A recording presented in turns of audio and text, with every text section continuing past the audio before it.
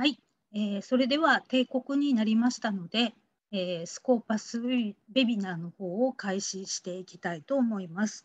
えー、本日はお忙しいところ、えー、スコーパスウェビナーにご参加いただきありがとうございます。えー、私、えー、本日の講師を担当いたします、えー、認定講師の滝本と申します。どうぞよろしくお願いいたします。えー、通信に負担をかけないように、私の方もビデオの方は停止させていただきます。それではウェビナーの開始に先立ちまして、本日の、えー、ご利用いただきます Zoom の操作とアンケートに関する注意点をご案内申し上げます。えー、まずはオーディオ設定になります。えー、ご覧いただいておりますスライドのオレンジ枠を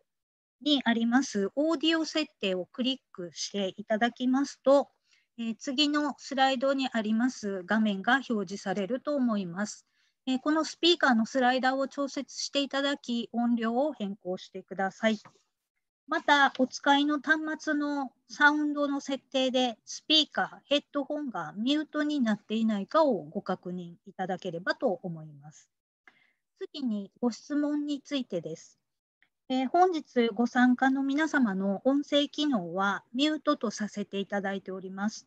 ご質問のある方は、プレゼンテーション中、いつでも Q&A からご質問をご投稿ください。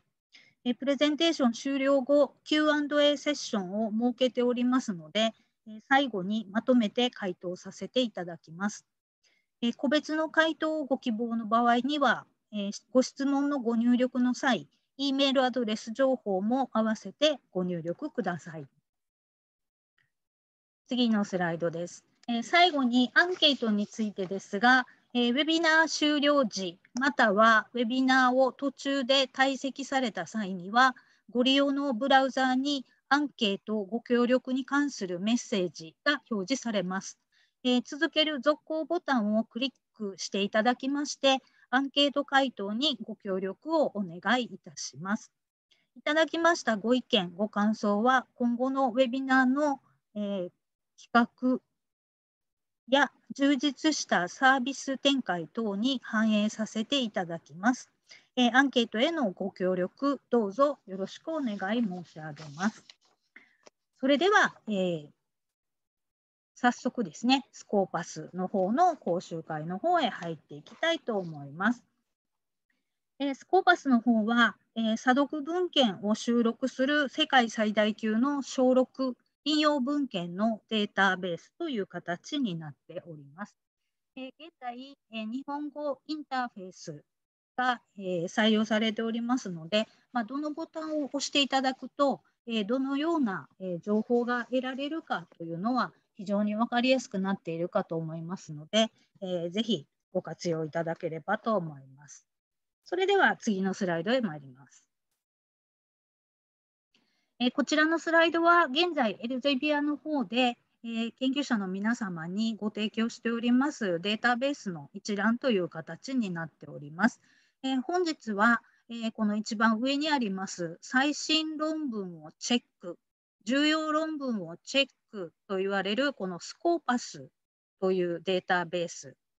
それからスコーパスの中に、え、ジャーナルのですね、え、評価機能も見ていただけるようになっていますので、え、実際に論文を投稿する際のジャーナルの選定をされる際に、えどのようなところをご覧いただければよいかというところもご確認いただければと思っております。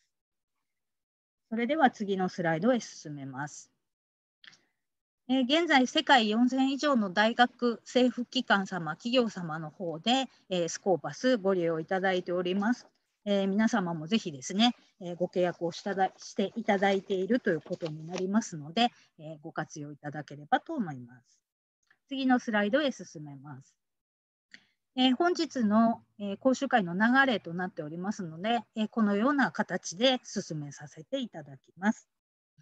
まず、スコーパスとはというところからいきたいと思います。はい、えー、現在ですね、えー、インターネットが非常に発達しておりますので、えー、皆様コンピューターで、えブラウザを立ち上げていただきまして、キーワードを入れて、検索ボタンというのを押していただきますと、えー、いろいろな情報を簡単に入手できるということになっています。えー、その中でですね、ご自身の研究で、えー、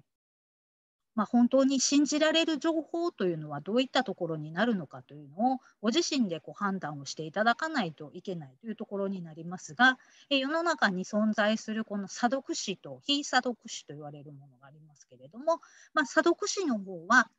えー、事前にですね審査プロセスを経て、えー、公開される情報になりますので、まあ、信頼性の高い情報ということになると思います。でスコーパスはこの査読詞の方を、え収録しているデータベースとなりますので、えデータベース検索、まあ、文献検索の入り口として、まあ、信頼性の高い、え情報源から検索を開始していただければということになります。次のスライドへ参ります。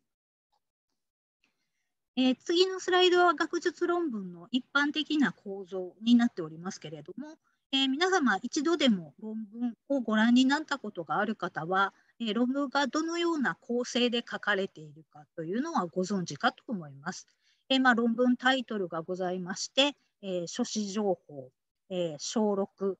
キーワード、本文がありまして参考文献が載っているという形になります。で、これからご紹介しますスコーパスやいろいろなデータベースでこの論文のどの位置を検索して、どの部分を見ることができるかというのが、それぞれのデータベースで異なっているということになりますので、皆様がご利用いただけるデータベースで何を調べることができるのかというのを念頭に置いていただいてお使いいただきたいということになります。次のスライドへ進めます。こちらの方はえー、皆様が所属されている研究機関等で実際にご利用いただけますデータベース大きく分けますと大体この4種類くらいに分類ができると思います。で本日ご紹介しますスコーパスは、えー、この右から2番目のところに分類されるんですけれども、えー、論文のタイトル、書詞情報、小録、キーワード、参考文献というのを、えー、見ることができるデータベースということになります。で本文は入っていませんので、えー、そのそのあたりは、えー、頭に置いておいてください。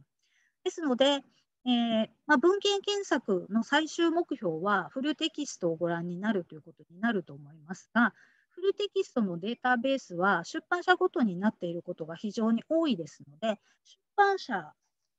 を違う出版社を検索しますと、出てくる論文も出てこないという形になりますので、注意が必要になります。で、スコーパスの方は出版社の枠を大きく超えておりますので、こちらを入り口として使っていただいて、ここからですね、えフルテキストデータベースの方にリンクボタンというのが貼られていますので、それを使っていただいて、フルテキストにリンクをしてみてくださいということになります。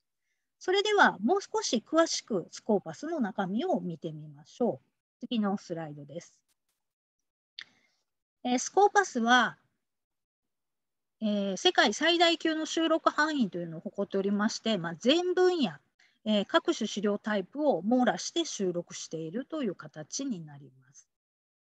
でグローバルなコンテンツ収集方針という形で現在105カ国7000以上の出版社からえー、ジャーナルの情報等を収集しております。で40の本文言語、え日本国内のタイトルも375紙含まれているという形になります。えただし、スコーパスを検索していただくときは、えー、キーワードは英語で入力をしていただきまして、まあ、本文言語が日本語のものが、えー、検索で見つけることができるということになります。で現在8100万レコードですが、毎日更新になりますので、日々データの方が追加されてくるということになります。で最近、プレプリントの収録も開始いたしております。でこちらの方は、文献の検索結果ではなくて、え著者のプロファイルページのみに表示されることになりますので、ご注意ください。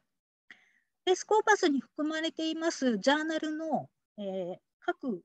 分野における冊子数なんですけれども、画面の左下を参照してください。え、かなりですね、広い範囲をカバーいたしますので、えー、まあ、それはどうしてかと言いますと、最近、え分野と分野のちょうどですね、間ぐらいのところで、えー、有用な研究をされていらっしゃる方がたくさんいらっしゃいますので、えー、分母はかなり大きなところから検索していただく方が、漏れのない検索ができるという形になるかと思います。ですので、えー、分母が広いところから検索をしていただいて、キーワード等で絞り込んでいただいて、ご自身の目的とする論文を探してくださいという形になります。でジャーナルは査読誌、業界誌、それからオープンアクセス誌、でアーティクルインプレスも含まれておりますので、より早い、え、情報も入手が可能になります。それからメドラインのデータベースは100%網羅している形となりますので、え、医学部、医学関係の方々にとりましても非常に有用なデータベースかと思います。で小6は1800年代から、参考文献は1970年代から、でさらに助成金情報というものもご覧いただけるようになっております。でジャーナルだけではなくて、会議録ですとか書籍の情報も入っていますので、かなり大きなデータベースとなりますので、ぜひ一度ご自身のキーワードでどのような情報を入手できるかというのをご確認いただければと思います。それでは次のスライドへ進めます。こちらは、えー、まあ、パーソナルアカウントを作成してみましょうという形なんですけれども、スコーパスのトップ画面なんですけれども、えー、ご契約機関様のネットワーク内からですね、IP 認証でスコーパスに入っていくこともできますので、その場合は、えアカウントを作成していただかなくても、す、べ、ての機能をご利用いただくことができます。アカウント作成をしていただきますと、えー、検索アラートですとか、著者アラートというものを設定することができますので、まあ、定期的に情報を入手するというふうな場合には、えこのアラートを使っていただくと、え非常に便利に情報収集ができるかと思います。で、リモートアクセスにも対応しておりますので、えー、自宅等からですね、スコーパスの方にもアクセスが可能となっております。え、どのようにアクセスするかは、え、所属機関様の図書館様等にご確認をいただきまして、えリモートアクセスが可能かどうかご確認ください。でこのアカウントに関しましては、え、サイエンスダイレクトですとかメンデレにすでにユーザー登録をされていらっしゃる方は、その ID パスワードも、え、そのまま使っていただけますので、え、それをお使いになってサインインをしてスコーパスに入ってください。次のスライドへ参ります。それではスコーパスの基本的な流れというものをご紹介いたします。まずはえー、次のスライドです。えー、こちらがスコーパスのトップ画面という形になります。えー、日本語のインターフェースが採用されておりますので、す、え、べ、てま日本語表示になっておりますが、こちら、英語、中国語、ロシア語等のインターフェースに切り替えが可能となっております。で検索画面は文献検索、著者検索、所属機関検索と用意されておりますので、必要な画面をお使いください。キーワードから検索する場合は文献検索となりますので、こちらを選んでいただきまして、キーワードをこの真ん中あたりにですね、入力するという形になります。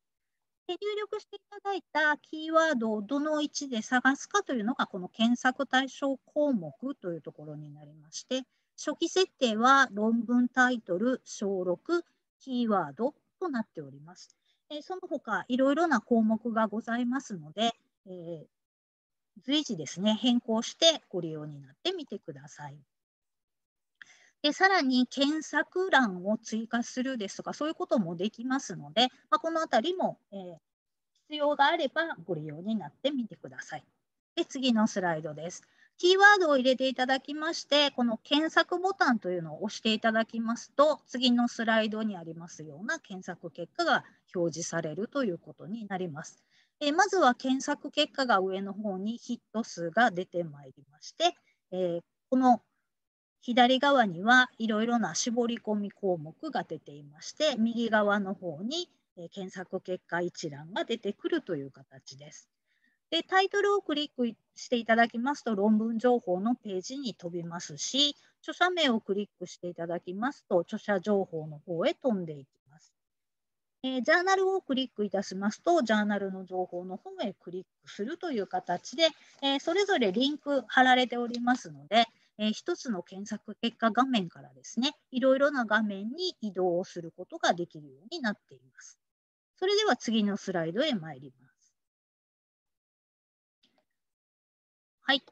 でこちら、えー、検索結果画面なんですけれども、えー、左側に絞り込みの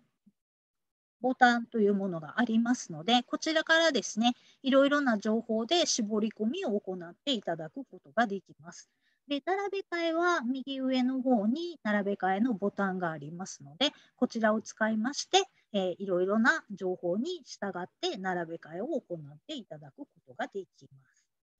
次のスライドです。で、検索結果一覧の方なんですけれども、えー、タイトルがございまして、その下に、えー、アブストラクトを表示するというボタンがあります。でさらにその隣にカスタマイズリンクのボタンがありまして、こちらの方は所属機関様によりまして、どのような内容が表示されるかというのは異なっておりますので、え各機関様の方でご確認ください。でフルテキストリンクへのボタンですとか、え関連文献の関連文献へのリンクボタンというものが、え含まれております。でタイトルをクリックしていただきますと、えー、小6や参考文献のページというところに飛んでいくことが可能になります。はい、次のスライドです。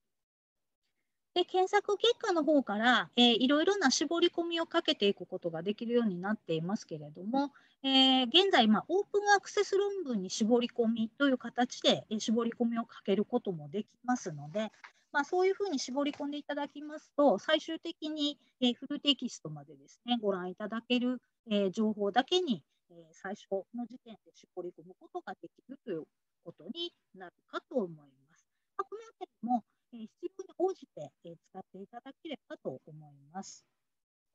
次のスライドです。で左側にいろいろな、え、検索した、え、結果の、え、各項目が出ているんですけれども、画面中央の検索結果の分析というボタンを押していただきますと、この左側の各項目をグラフ化をすることで、検索結果の分析を可視化してご覧いただくことができるようになっていますので、非常にですね、えー、分かりやすい、結果を見ていただけるかと思いますので、ぜひ一度このあたり使ってみてください。次のスライドへ行きます。え、次のスライドが、え、スコーパス上で一番詳しい小6プラス参考文献のページという形になります。で論文のタイトル、書詞情報等、それからキーワード等がありまして、で一番下には参考文献リストがついているという形です。で右側の方には論文評価指標というものが出ておりますし、でさらに表示している論文が引用されている場合には、その引用している方の論文のリストというものが出てまいります。で、引用アラートというものを設定することができたりしますし、関連文献というものも表示されていますので、一つの、え情報の検索結果画面からいろいろな情報にリンクしていくということになりますので、えー、一度ですね、ご活用いただければと思います。次のスライドへ参ります。で検索した結果なんですけれども、えー、まとめてですね、えー、文献管理ツール等で、えー、管理をしたいという方は、え検索結果一覧、論文タイトルの横にチェックボックスがついていますので、チェックボックスを、えチェックしていただきまして、エクスポートボタンを押しますと、え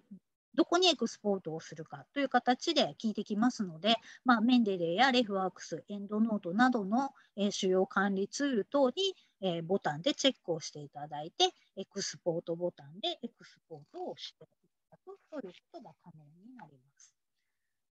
で次のスライドです。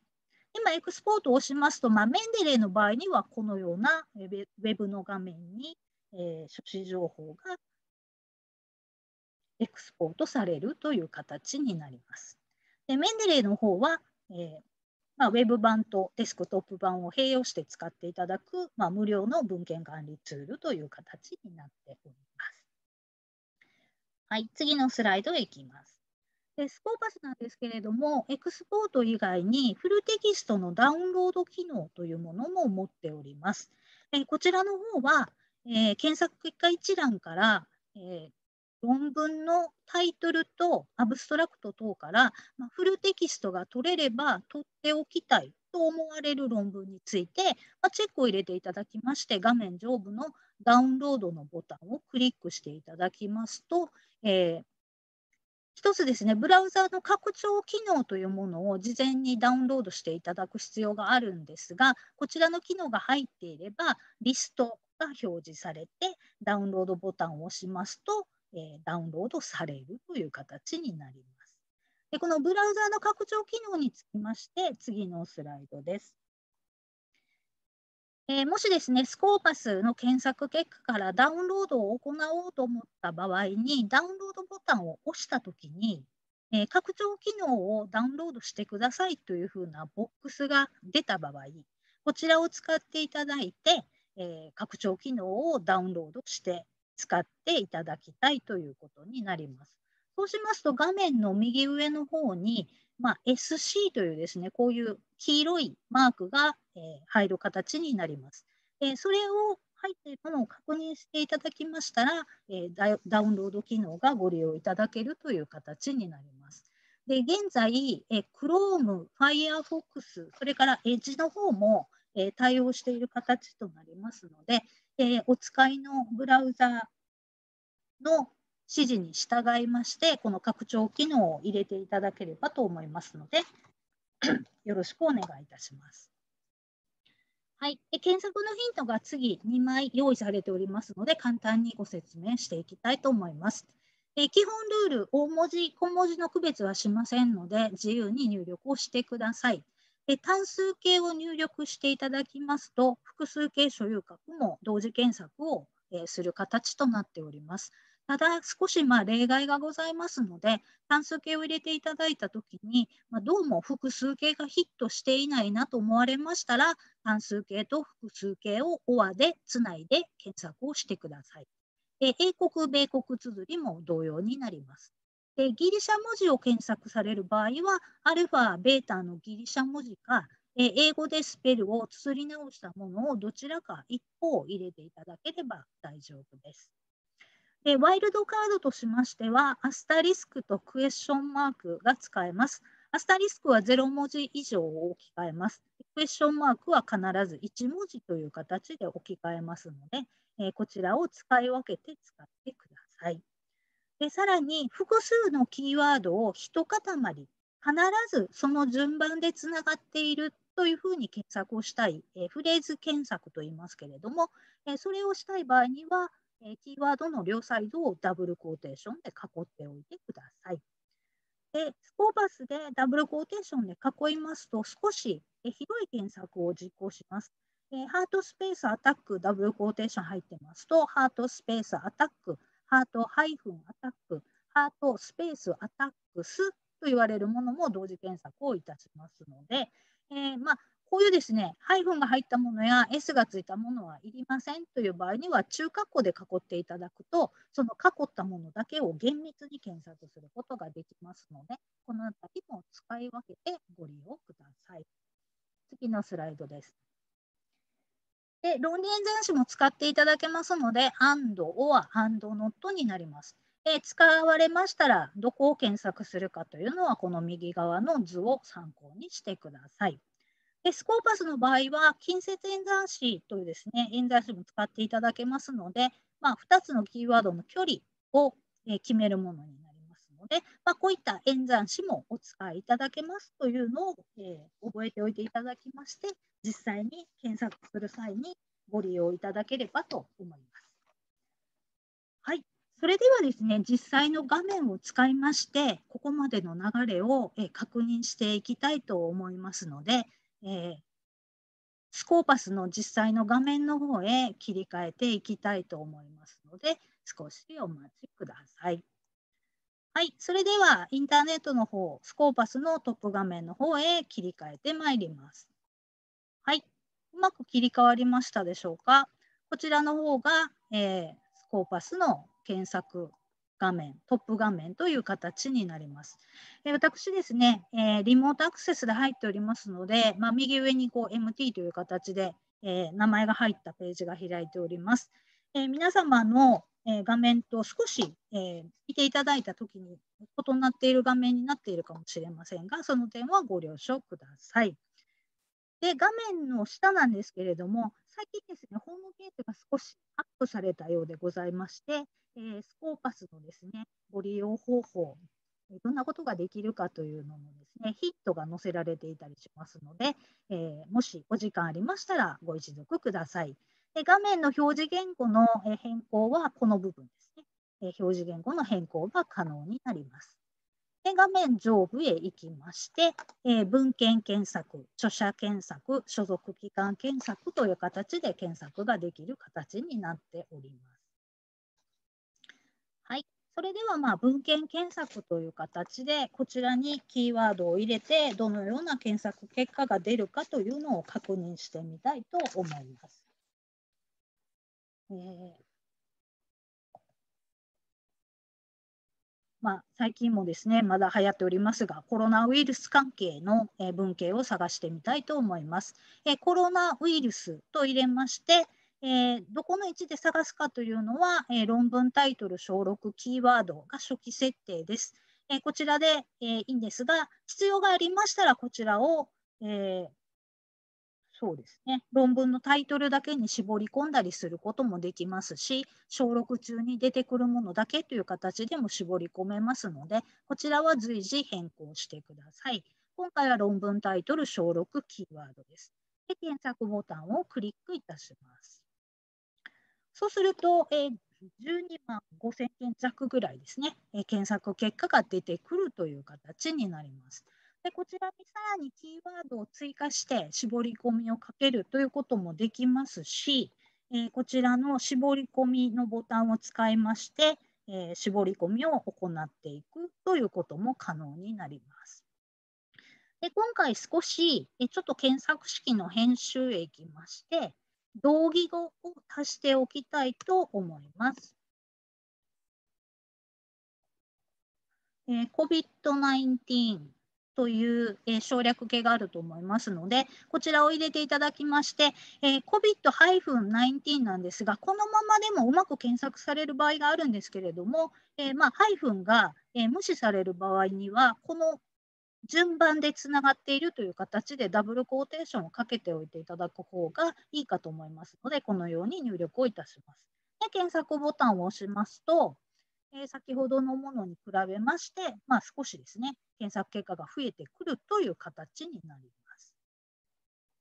はい。で絞り込みのところなんですけれども、まあ、オープンアクセスに絞り込むということもできますし、え、出版年の新しいものだけ等に絞り込むということもできます。で画面の一番下に、えー、ここ閉じてるんですが、通常ですね、この本文言語というところになっていまして、えー、論文の本文言語、えー、何で書かれているかという形ですが、まあ、ほとんど英語なんですけれども、えー、まあ、この中にちょっと日本語がないので、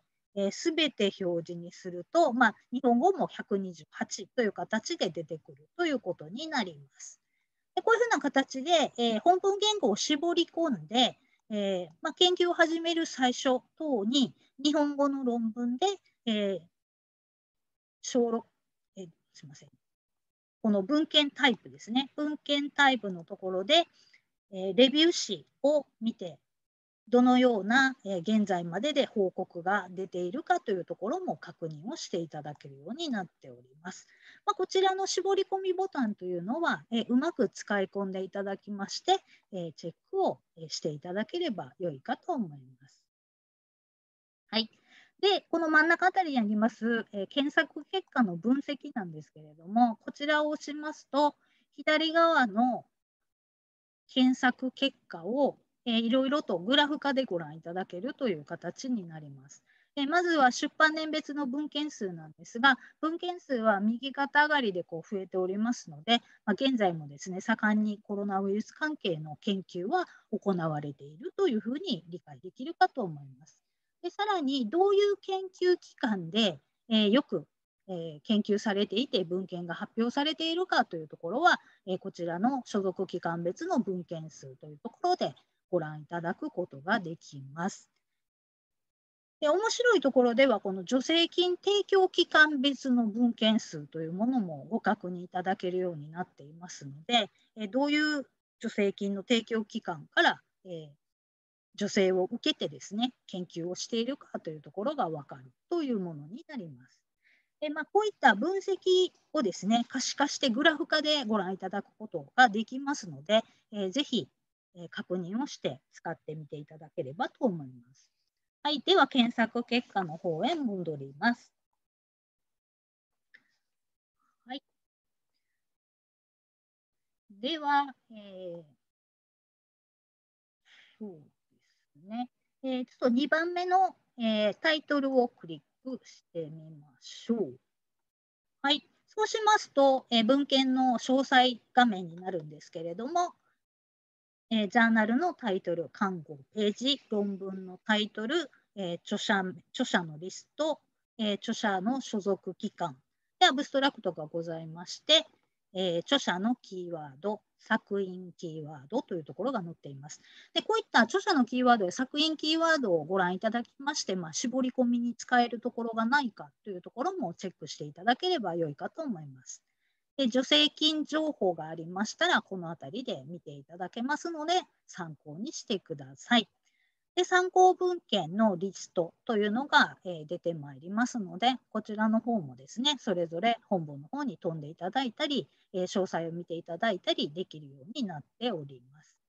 で画面の右側なんですけれども、え、論文の評価指標、ま、これまだ新しい論文ですので、まあ、あんまり評価指標も、え十分出てないと思いますけれども、こういったもの。それから引用されている、まあ、1回引用されていますが、どういう論文に引用されているかという情報、それから関連文献というものが表示されてきますので、こういうところからですね、いろいろな情報を入手していただけるというものになります。はい。では、検索結果一覧の方に戻っていきます。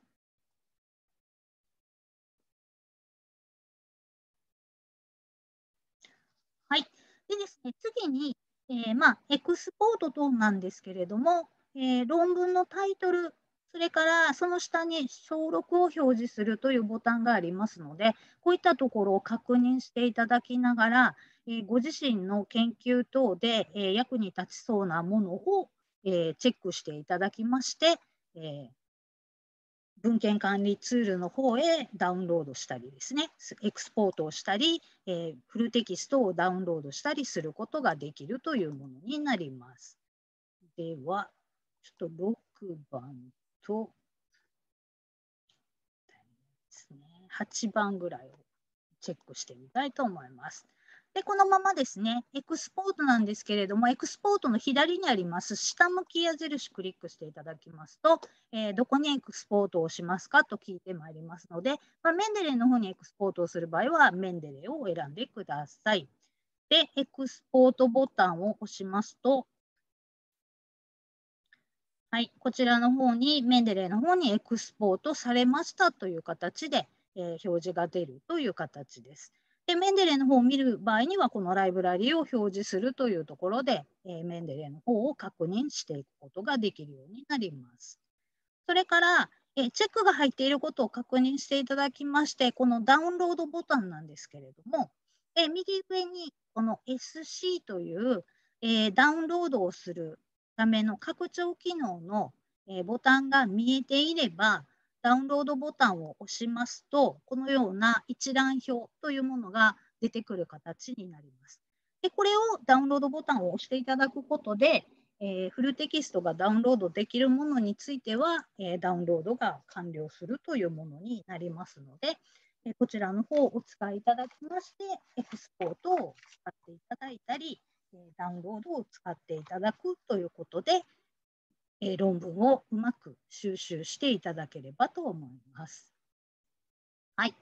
えこういうふうな形でダウンロードが完了しておりますので、えダウンロードしたものにつきましては、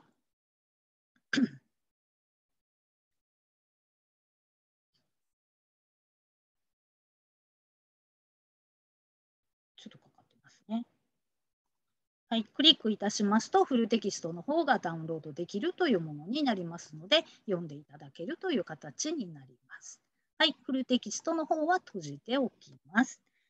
はい、このような形でキーワードを入れていただきまして、えー、該当論文の方まで、えー、行っていただくという流れになりますので、えー、ぜひ一度ですね、ご自身のキーワードで試してみていただければと思います。はい、それでは、えー、またパワーポイントの資料の方へ戻りますので、えー、スライドの方へ戻っていきます。はい、では画面を切り替えます。はい、次に、えー、インパクトの高い論文というのを調べる方法についてお話をしていきたいと思います。えこちら真ん中にあります対象論文というものがご自身の研究に非常に重要な論文だとお考えください。えこの論文が書かれた時にえ参考にした参考文献リストを簡単にスコーパス上でご覧いただくことができますし、対象論文が発表された後にですね、より新しい論文が出てきますが、その論文のリファレンスにこの対象論文が入っているものがあるかどうかというのを、ボタン1つで簡単に探すことができるというものになります。でさらにこの非引用数が、え多いものというのが、まあ、インパクトの高いですね、重要な論文であるというふうに見なされておりますので、まあ、そういうところを、え確認していただくということになります。次のスライドです。でその方法ですけれども、えー、検索結果の右上の方に並べ替えのボタンというのがありますので、そちらを使っていただいて、引用数の多い順という形で並べ替えを行ってもらうということになります。そうすると、引用された回数が多いもの順で並べ替えが起こります。で、こちらを使っていただきまして、えー、まあ、その論文が重要かどうかというところを探していただく調べていただくということになるんですけれども、えー、この非引用数につきましては、え、分野別ですとか、出版年別、文献タイプ別で少しですね、えー、違ってまいりますので、非引用数を評価する際には注意をしてくださいということになります。でこのスライドを見ていただきますと、各分野でですね、引用される文献の数というのがかなり違ってくるということがありますので、ご注意をご注意していただきたいということと、で文献タイプでは、まあ、レビューは、えー、少し引用されやすくなっていますけれども、カンファレンスペーパーなどは、え、引用される回数が非常に少なくなってくるという傾向にありますので、まあ、こういったところも、え、加味していただきながら、えー、引用引用数を評価していただきたいということになります。でスコーパスの中では、次のスライドですけれども、えー、もう一つの評価指標としまして、まあ、非引用ベンチマーキングですとか、FWCI という数値のご提供もしております。引用ベンチマーキングは同じ分野、出版時期、文献タイプの文献集合における非引用数のランキングという形で99%が一番上になりまして、世界上位1%に入っているということを意味するということですので、まあ、パーセンタイルの数値が高ければ高いほど、まあ、注目度が高い論文というふうに見なせるかと思います。FWCI はフィールドウェイティッドサイテーションインパクトと言われるもので、え該当論文の引用数を同じ分野、出版年、文献タイプの文献の、まあ、世界平均で割ったものという形で FWCI が1以上であるということは、えー、世界平均よりも大きいという形なので注目度が大きいというふうに、えー、言えるという形になります。ですので非引用数とそれから非引用ベンチマーキング FWCI 等を考慮していただきましてそのその論文の注目度というのを判断していただきたいという形です。次のスライドへ参ります。でこれらの指標をどこでご覧いただくかといいますと、えー、文献のですね、えー、右上に全指標を表示というボタンが出てまいりますので、そちらを使いまして、各、えー、指標の確認をしていただけるということになります。それから次のスライドですけれども、えプラム X という形で、えー、ニュースやソーシャルメディアなど、まあ、論文以外の媒体からどれぐらいまあ注目されているかというのを、えー、こちらの方でご覧いただくこともできますので、まあ、ご興味がありましたら確認をしてみてください。次のスライドへ参ります。でさらに、えー、引用分析という機能もスコーパス上ついておりますので、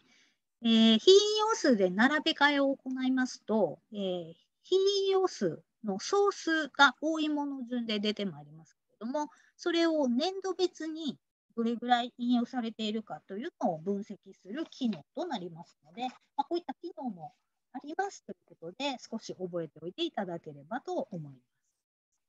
はい。では、えー、ここまでのところを実際の画面を使いまして確認をしてまいりたいと思います。それでは、え、実際の画面の方へ切り替えていきますので、またスコーパスの検索画面の方へ切り替えます。切り替えます。はい。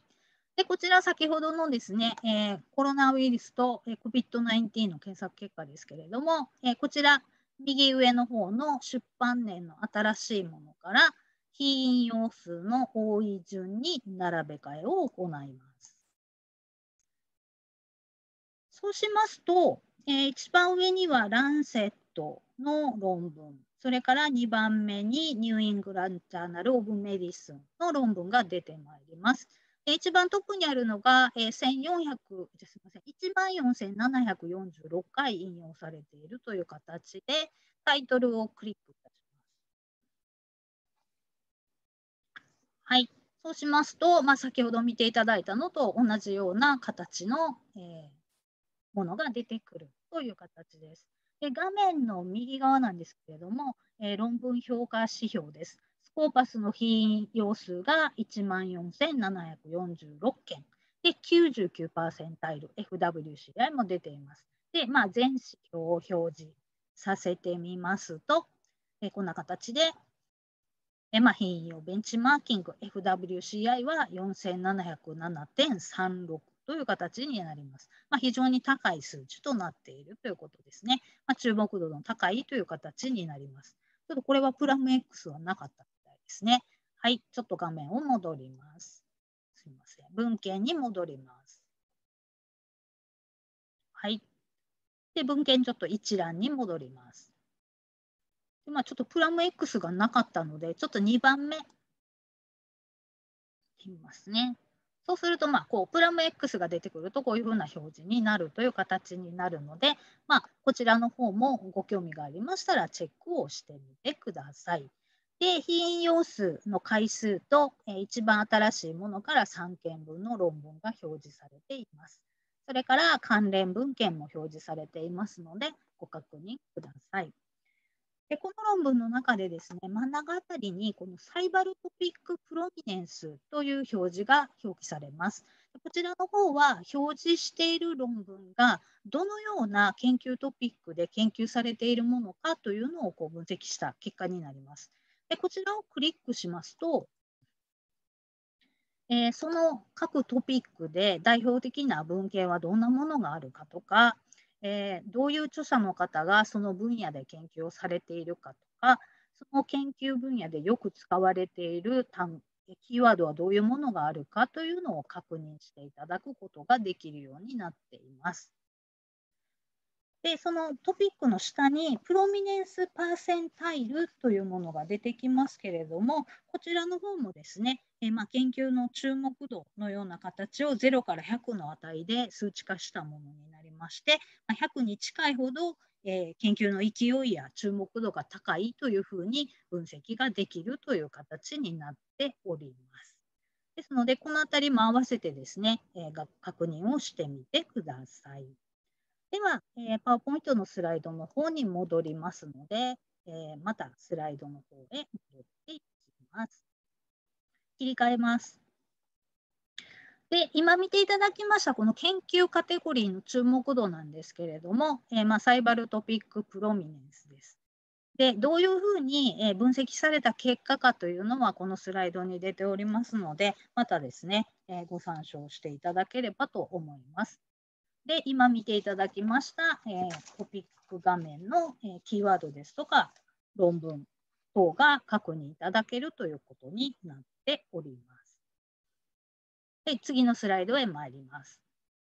でスコーパスなんですけれども、キーワードから検索をするという以外に、まあ、著者の名前から検索をするということもできるようになっております。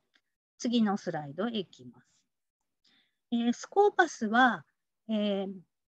高いですね、著者識別機能というものを持っておりまして、えー、まあ、アルゴリズムによる名寄せの処理というものも行っておりますし、まあ、それでもですね、名寄せしきれなかったものについては、えー、マニュアルによりまして先生方のフィードバックで、えー、手作業でこう分けていくという作業も行っておりまして、なるべく1人の著者の方のお仕事を1つのプロファイルでご覧いただきたいという形になっております。次のスライドへ参ります。でその調べ方は、えー、検索画面の著者のところをクリックしていただきまして、お名前と入れていただきますと、えー、該当する、えー、方の一覧表が出てくるという形になります。えー、複数のですね、著者プロファイルが出てくる場合がございますので、えもしご自身のお名前で、え検索をしていただいた際に、いくつかに分かれてしまっている場合には、ご自身のものかどうかというのをチェックしていただきまして、まあ、著者フィードバックフォームを、え使っていただきまして、1つのファイルにまとめていただくということも可能になります。次のスライドへ参ります。で検索結果から該当する著者の方を選んでいただきますと、その著者の方のプロファイル画面の方へ飛んでいく形になります。でその著者の方の研究のですね、えー、成果という形で、えー、いろいろな資料、どれぐらいの文献数を書かれているか、その文献がどれぐらい引用されているかというふうなところをご覧いただくことができます。で文献数と引用数のトレンドということで、まあ、最近のものがグラフ化でご覧いただけるという形です。でさらに次のスライドですけれども、え画面の下の方には、え先生方が書かれた文献、で、その先生の書かれた文献がどれぐらい引用されているか。で、プレプリント情報、共著者情報、でトピックの情報というものがご覧いただけるようになりますので、えー、このあたりもチェックをしてみてください。次のスライドです。えー、著者分析と言われて、えー、いろいろな文献数ですとか、そういったところをグラフ化でご覧いただくことができるようになっていますので、えー、ぜひこのあたりもご確認をいただければと思います。それから引用分析もできるようになっておりますので、えー、まあ、ご自身が書かれた論文の自己引用をこう除いていくとかそういうことも可能になりますのでそういったところから引用分析というのを行っていただきまして、えー、どの文献が何年にどれぐらい引用されているかというのをこう確認できるというものになっています。次のスライドです。えー、さらに、えー、お仕事、著者の方のお仕事を客観的に評価できる、まあ、H インデックスというグラフも、えー、見ていただくことができますし、それから次のスライド、 ORCID ですとか、 researchmap の方にご自身の ID をお持ちの方いらっしゃいましたら、 Scopus の方から ORCID、あるいはリサーチマップの方に、え文献リストというものを移動させていただくことができますので、このあたりもお使いください。はい。それでは、ここまでの流れを実際の画面を使いまして確認をしてみたいと思います。それではまたスコーパスの画面へ戻っていきますので、切り替えてまいります。切り替えます。で、画面を、えー、トップへ戻しますので、画面上部の検索ボタンをクリックします。で著者検索を行いますので、文献の隣の著者入れていただきまして、で著者名を入力するということです。で今回、えー、まあ、山中伸也先生を検索してみたいと思いますので、山中伸也と入れていただきまして、検索ボタンをクリックいたします。そうしましたら、えー、まあ、5つの検索結果が出てきますけれども、えー、こちらはですね、え、先生ご自身で判断をしていただかないと1つにまとめるということはできませんので、えまたこれはご自身で見ていただきまして、ま、京都大学様の、え山中先生のプロファイル見てみたいと思います。はい、そうしましたら、まあ、先ほどのスライドと同じような形の、えー、結果が出てくるというものになっていますので、えー、これを使っていただきまして、いろいろな情報を入手していただければという形になります。でこちらも287の文献がございますけれども、え、こちらも並べ替えで品用数の多いもの順という形で簡単に並べ替えが行えます。で先生が書かれた論文で一番引用されているのはどんなものがあるのかというところを確認していただけるということになります。それからプレプリント情報ですとか、共著者の情報というものも確認していただけるようになっていますので、えー、ぜひこのあたりも、必要に応じてですね、情報収集に役立てていただければと思います。はい。では、えー、またパワーポイントのちょっとスライドの方へ戻っていきます。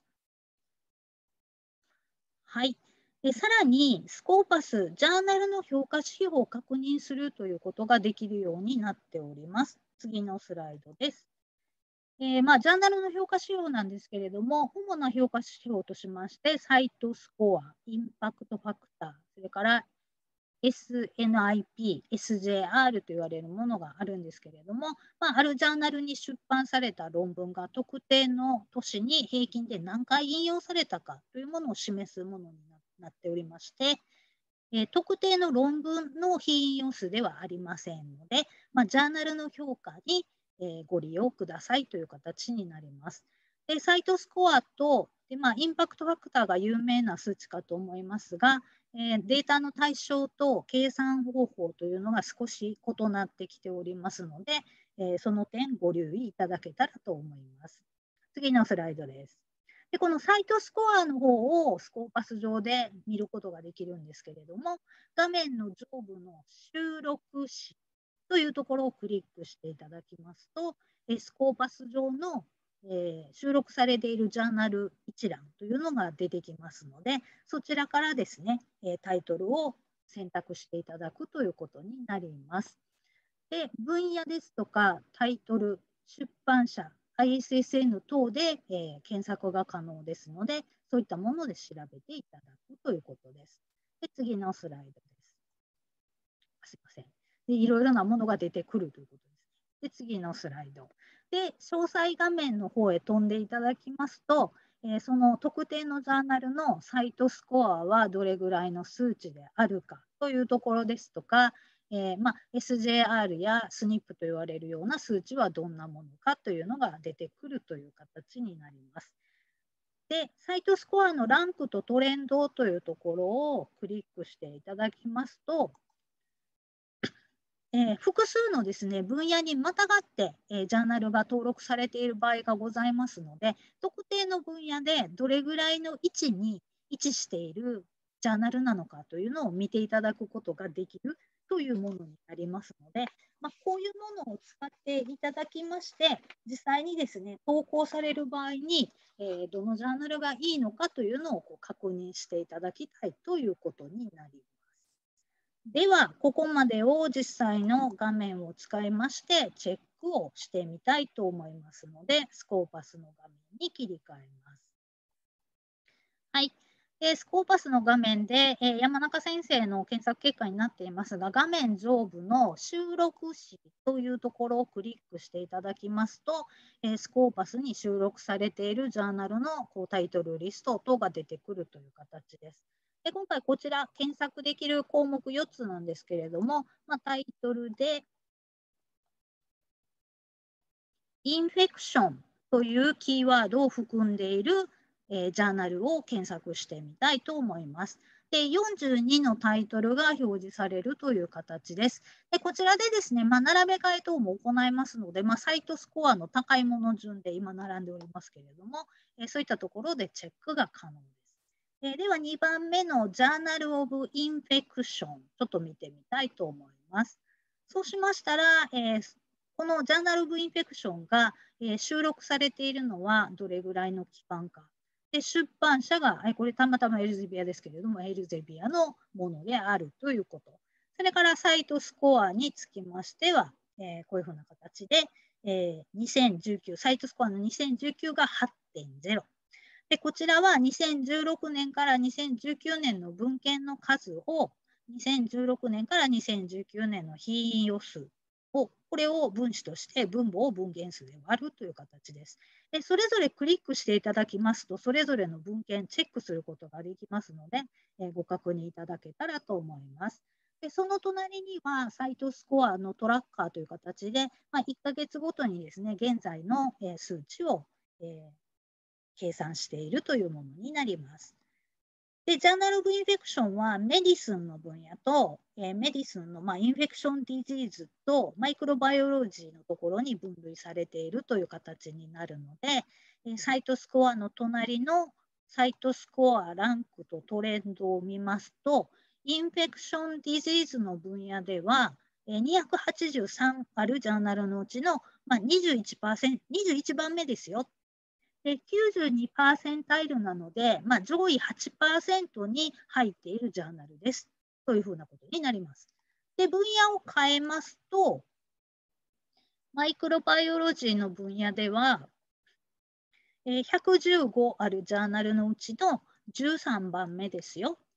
で、89%タイルなので、まあ、上位11%の中に含まれている論文です。というふうな形で、え評価ができるという形になります。まあ、こういうところを見ていただきまして、えご自身が投稿されるときにですね、どのような評価になっているかというのをご確認いただけるということになります。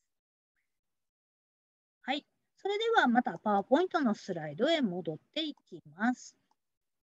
はい、最後に、まあ、パーソナル機能の利用という形になるんですけれども、次のスライドです。まあ、ユーザー登録をして使っていただきますと、アラート等の便利な機能をご利用いただけますという形です。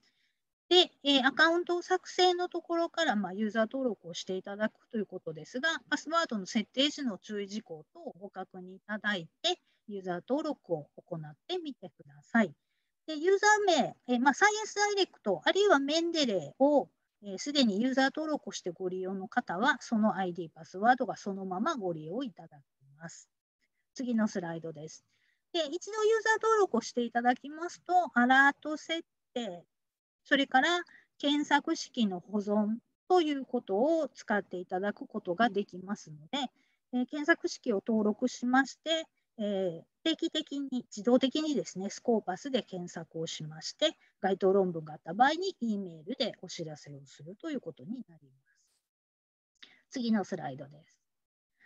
で、画面の文献情報の中の引用アラートというものにも、えー、チェックをすることができまして、表示している文献をリファレンスに含んだ文献が出た場合にメールでお知らせを受けるということになります。ですので、ご自身が書かれた論文等を登録しておいていただくと、えその論文をリファレンスに入れて、新しく論文発表されたものを、えお知らせで受け取ることができるというものになります。次のスライドです。はい、でその文献情報のページからも引用アラートをかけることができます。はい、で最後にですね、えー、問い合わせ先という形になっておりますので、えー、もしご不明点等出てまいりましたら、ヘルプデスクの方に問い合わせをしていただければと思いますので、よろしくお願いいたします。で本日のオンライン講習会等も、こちらの、え、URL の方で、え、後日確認をしていただけるようになるかと思いますので、こちらの方もチェックをしてみてください。はい。えスコーパスの使い方というのは、え以上となります。え、本日は長時間どうもありがとうございました。ここから Q&A セッションの方に入っていきますので、はい、庄司様、よろしくお願いいたします。はい、ありがとうございました。えっと、本来ですと、えっと、Q&A セッションの方に移らさせていただくところなんですけれども、ちょっとお時間の都合上ですね、あの次回のウェビナーの案内だけをさせていただければと思います。で本日あの多数あのご質問いただいておりまして、えこちらへの、えっと、回答につきましては、え別途メールでご案内させていただく予定ですので、えそちらをご覧になっていただければなというふうに思います。で次回のウェビナーですけれども、えー、7月の13日から15日までを予定しております。えー、各、えー、それぞれですね、えーと、17時から18時の間というところで1日1製品のあの使い方の説明会ということになりますので、えー、ぜひあのご参加いただければなというふうに思います、えー、本日はご参加いただきましてありがとうございました。ありがとうございました。